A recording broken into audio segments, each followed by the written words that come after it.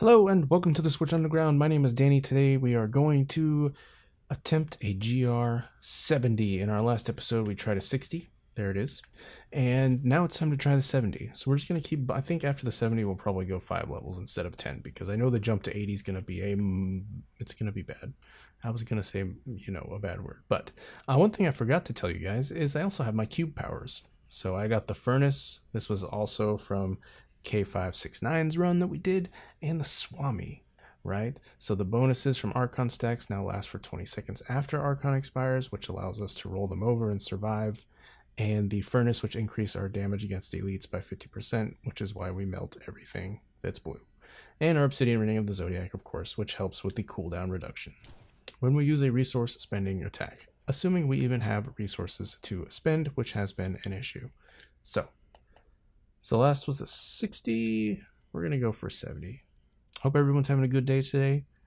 Uh, I'm not sure what day of the week this is going to come out, but I'm probably sure it's towards the end of the week. So we're getting towards the middle of August now, and time is flying. School will be starting for the children and all of that other lovely stuff. So this is a T15 equivalent, but the greater rifts are usually always a little easier than the actual uh, rifts that are at this level. So we're going to look for a fat pack of enemies. That is not a fat pack of enemies. We're going to teleport into them and cast Black Hole. Okay, this is all we're going to get. That's fine. When we start to die, we rip Archon. Oh my god, that was fast. Alright. Uh, we're just going to spin around with the beam. We're not going to super worry about killing everything. We're just trying to build up stacks right now, dude. Build up stacks and hopefully we get enough to do it all again, right? Right, so now would be a good time to lose Archon form. Good, so let's teleport. Maybe there's a fat stack of enemies over here.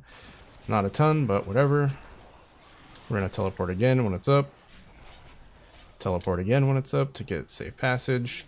And we'll be straight into Archon form again. And that is the rotation, dude.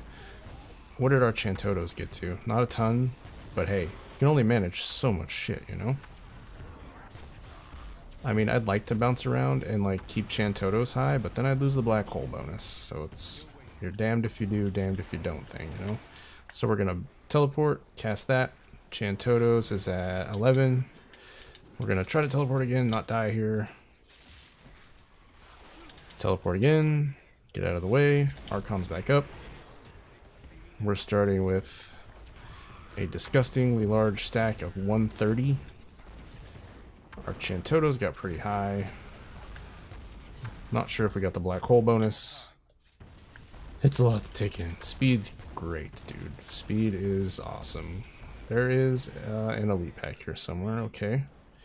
Just a nice fat pack of trash. That's what I want. Thank you. Uh oh let's not die. Good. Alright, that was a good one. We're on that now. We're on good ones and bad ones. Not everyone's a good one, not everyone's a bad one. I remember having so much trouble with T80. Why am I destroying this T70 here? What did I change that made it so much better? Maybe I'm just playing better. Alright, let's get out of here. Teleport, please. Casting a black hole. Teleport again. And we'll bring the old stacky boys back over. Wow, this is a really good rift. Oh wow, a conduit too? This is over, dude. I literally just need to walk around. Rift Guardians here? Is he gonna come while I'm... Of course not. Okay. So this is gonna get tricky. I'm gonna need some safe passage. Oh, he blowed up. Any primals in there? I see a lot of yellow, or orange, but no primals. Well, I was hoping that 70 would be a little, little harder than that. I was mistaken. My bad. So what that was, we've done a 50, we've done a 60, we've done a 70. I guess we jump straight into the 80. The 80's got to really kick our butt though, right? Dang. That was nice. We had some really good uh, rotations there. two minutes. We're beating records as the higher we go. What is that? All right, let's see if we got any goodies. Ooh, the grandfather, a classic Diablo 1 weapon. I like it, dude. Some belts, we don't care. Some shoulders, we don't care. Ooh, maybe if that was an ancient version of the Ashnagarr's, that would be nice. And a ball of hate. Ooh. That kind of was cool. Look cool. Anything my follower can use, maybe? Oh, he could use that. But I like this drain life from enemies thing that he's got going on. Alright, well, I guess that's that. Well, um... Jeez, dude. I'm not sure why we're destroying things so fast. I thought this would be much harder. Hopefully the 80 is. I, I Well, I did almost die once or twice, right? But I do have my oh shit button, right? My power here, my uh this skill that uh where is it? Where is it? There it is. When you receive fatal damage, you instead get a shield equal to four blah blah blah blah blah blah. Basically, you live, and knocks back everything for three for three seconds.